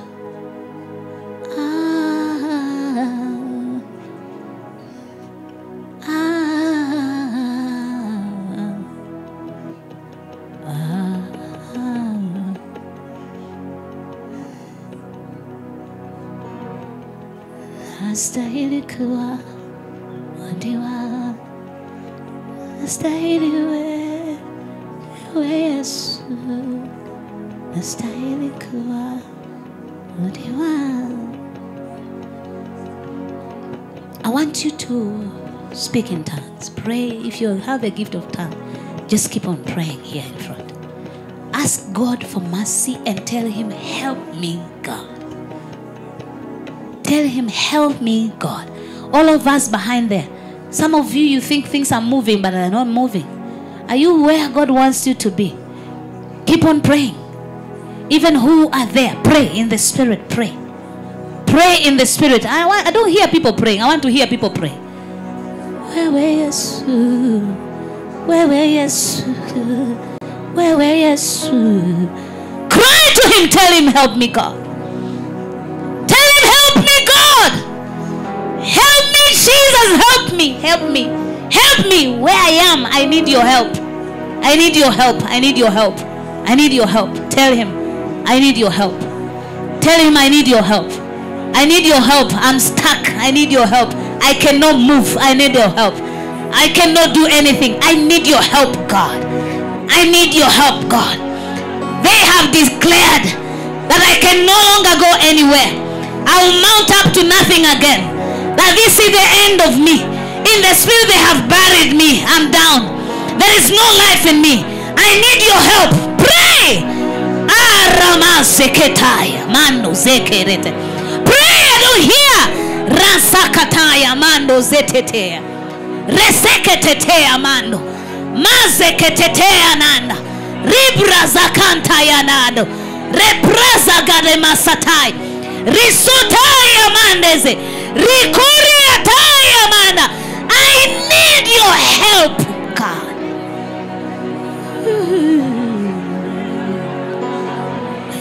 Spirit of God. Ziriri, ziriri, ziriri, ziriri. Spirit of God, I need your help. Spirit of God, breathe life in your children.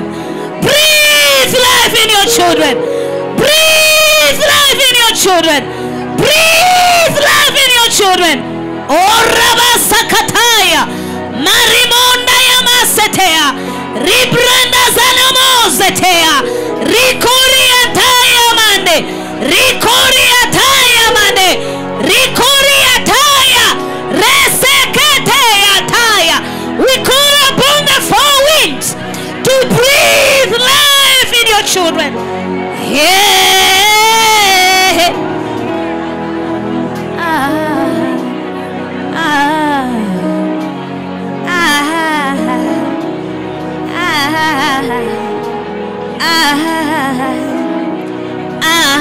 Help, Lord, help. Help, Jesus. Help, Jesus. Help upon your daughter. Help, Jesus. Help, Jesus. Help, Jesus. Help, Jesus. Help, Jesus.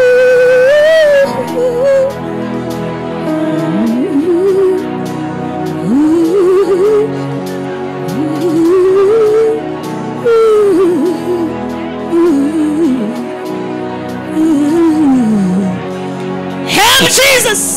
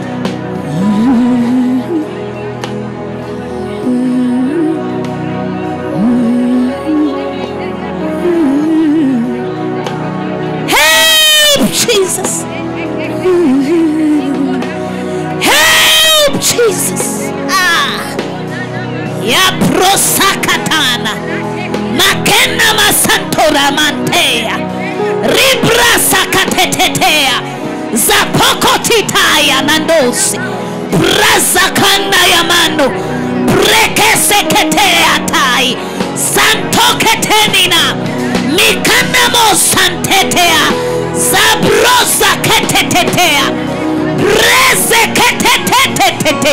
Zaketetetetetete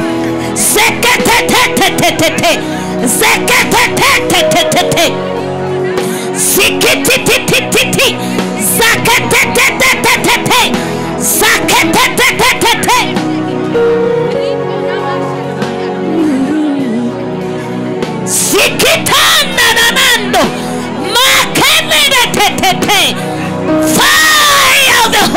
Spirit. Fire of the Holy Spirit.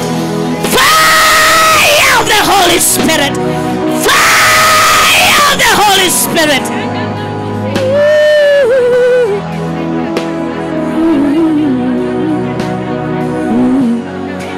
Every strange spirit, every oppressive spirit, every destroying spirit,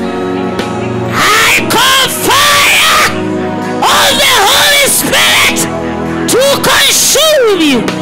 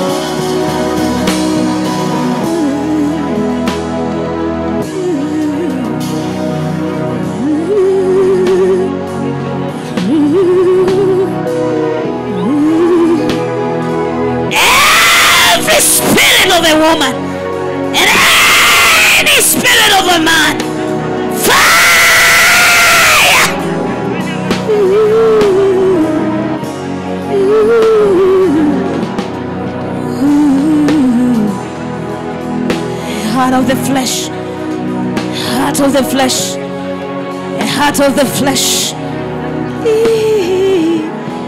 that will love you that will believe you, that will trust you, that will fear you. A heart of the flesh. Help!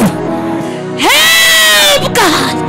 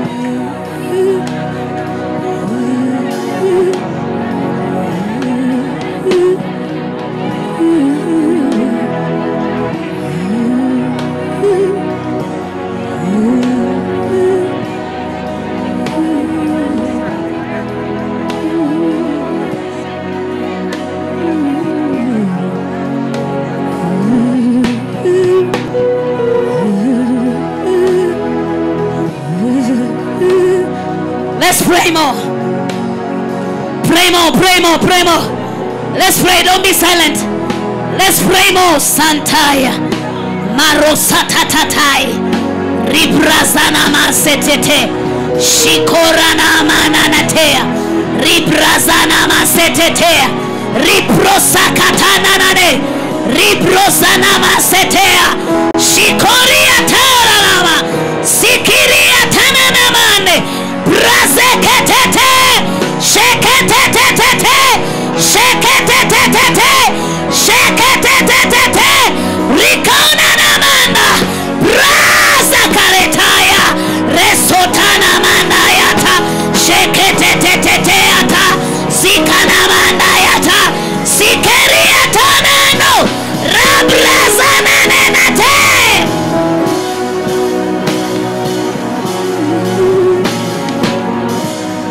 Another sign of the spirit of death. If you're seeing yourself in grave, no, first in the coffins. You ever saw yourself in a coffin? Or you're seeing coffins in your dreams or whatever, you see coffins. Come to the front. If you have seen coffin, Another one, if you're seeing yourself in the graveyard, let them not go. Let them stay there. there it is worse than let them come. You see yourself in a graveyard. In a graveyard. All that you see is yourself, Makaburini. Come to the front too.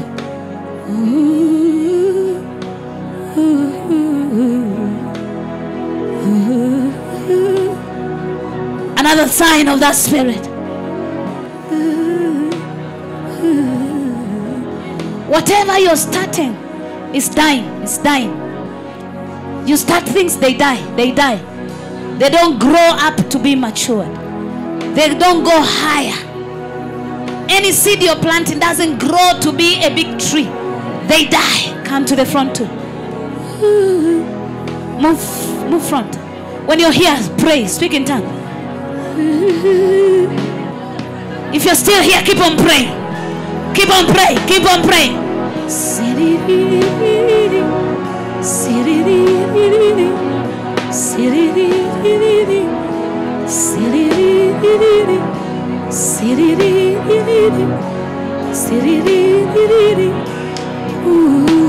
Speak in tongues. All of us pray. Tell God, help me. Tell the Holy Spirit, locate my situation. Locate my situation. Pray there. Tell Holy Spirit, locate my situation. Locate my situation. Locate my situation. Locate my situation. Prazana madora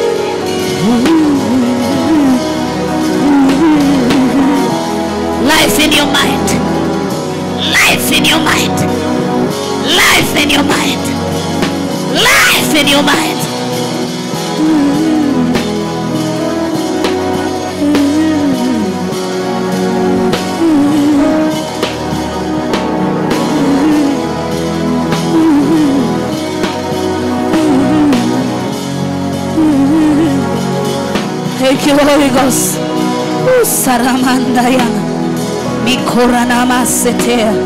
Sitananamatui. Yes, Enenemandaya. There are those who have fear in everything. If you're here and you're always afraid, afraid, just afraid. And this is also one of the signs. Right now, you're feeling pain on your forehead. You have fear. And spirit, instead of the spirit of boldness, move front. You arrange them in front. You have fear. If you have fear, it's not the spirit of God. The spirit of God didn't give us. He doesn't make us fearful. He gives us the spirit of power and might. Senemanda. Fear and timidity is a spirit from the enemy. If you have fear, come, come, come to the front. When you're here, keep on praying. Come on, keep on praying there. Tell the Lord to locate you.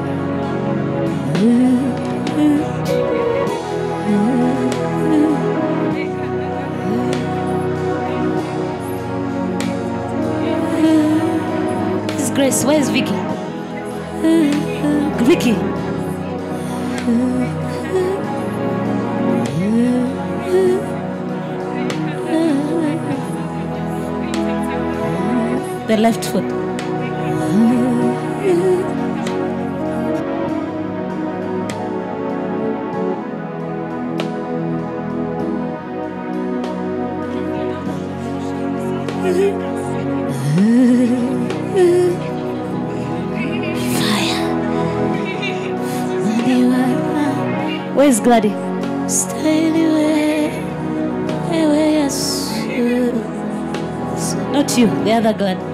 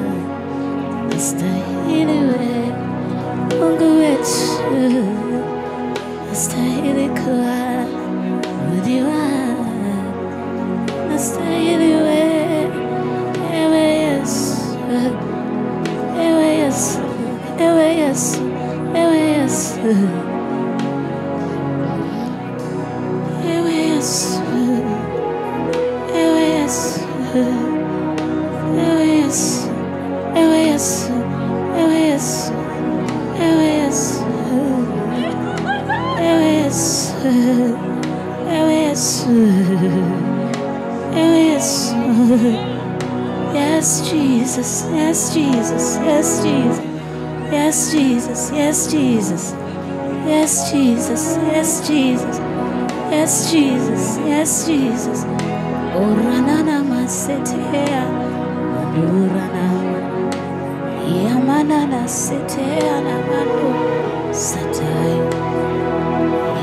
The right foot. Setaya manus.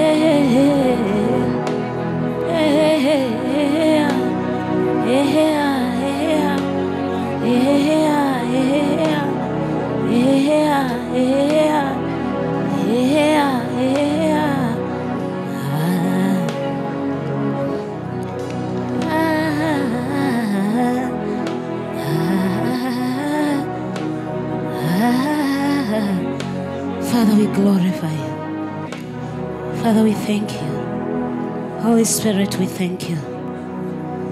Thank you so much. There are two people, two types of people. One, you're feeling pain right now on your forehead. Your mind have been attacked. And another one, you're feeling this. It's not really deep pain, but there is some discomfort in your feet. You're feeling sort of, it's not really fire, but it's a sign of attack in your feet. Just hold on those two places. Bring her.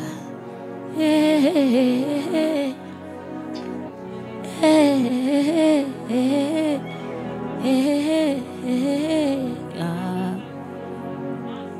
Ah. Unastahili kuwa. Pray. I said pray that the heavens will locate you. Stay we, ewe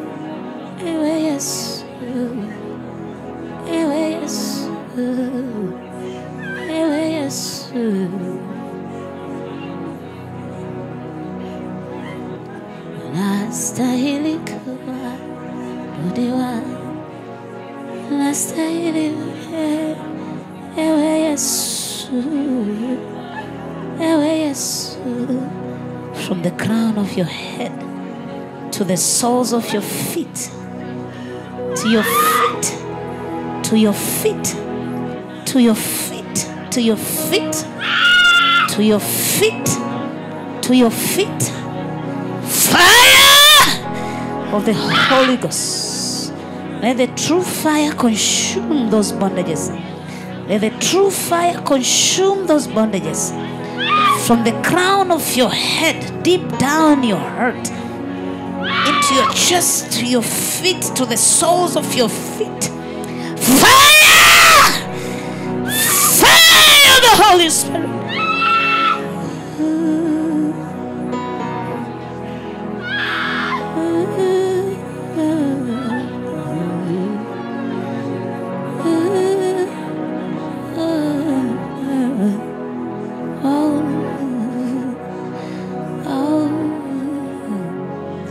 You have any medical report, any threatening medical report, both of you who are here and those who are watching online, I want you to hold that medical report. Hold that medical report.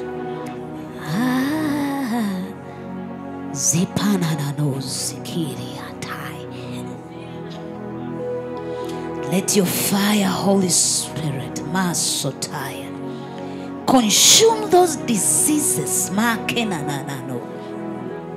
You have any medical report or you're sick?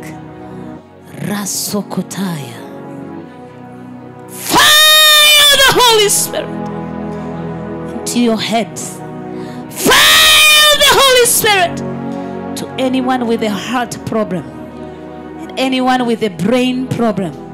Fire the Holy Spirit to anyone with the problems in the kidneys. Fire the Holy Spirit to anyone with the liver problem. Fire the Holy Spirit to anyone with the ulcer problems. Ulcer problems. Ulcers, ulcers. Fire of the Holy Spirit to the wombs, to fallopian tubes, to the ovaries that are blocked. Fire the Holy Spirit. Fire the Holy Spirit to anyone with the fibroids, anyone with diabetes, diabetes, diabetes. Fire the Holy Spirit. Let the healing take place in your body. Let healing take place in your body. To anyone with any blood disease, any blood disease, any blood disease, any blood disease. Fire! Thank you, Jesus. From the crown of your head to the soles of your feet, to the soles of your feet. Ah, diabetes, hypertension, HIV, cancer, different types of cancer, breast cancer, cervical cancer, cancer in the blood, skin cancer, skin cancer, skin cancer, skin cancer. Fire! Fire! Fire the Holy Spirit. Fire the Holy Spirit. Thank you, Jesus. Thank you, Holy Spirit. Masokotana mande. Ribrozana mansikitia. Rekosakatana mashite. We glorify you, Jesus. We honor you, Jesus. There is still someone that you feel pain on your right foot. Your right foot is like you're having muscle cramps on your right foot. Masokorantaya man. Father, we speak healing. Healing, healing. We uproot you, spirit of death. We uproot you, spirit of death. We uproot you, spirit of death. We uproot you, spirit of death. We uproot you, spirit of death. In the mighty and powerful name of Jesus Christ. Lord, we glorify you. In Jesus' mighty name, we speak life over everyone. We speak life over each and everyone. We speak life. Spirit, you give life. We speak life. You give courage and boldness. We speak courage. We speak courage. We speak openness of the minds and deliverances of the minds. Thank you, Holy Spirit, for the skills that you're dropping in the minds of your children. Thank you for business ideas that you're dropping. You're not just dropping the ideas, but you are empowering them to do them and to succeed in those areas. Thank you for job opportunities that you're releasing. Thank you for the open doors, oh Spirit of God. With your mighty power as a mighty wind, you're opening all the closed doors. Every closed doors is open this afternoon, is open this hour, is open this time. Let your mighty wind blow and open every closed door, every closed door, every closed door. Open up, open up, open up, open up, open up, open up, open up. In Jesus' name, give your hands of praise to Jesus. Give your hands of praise to Jesus.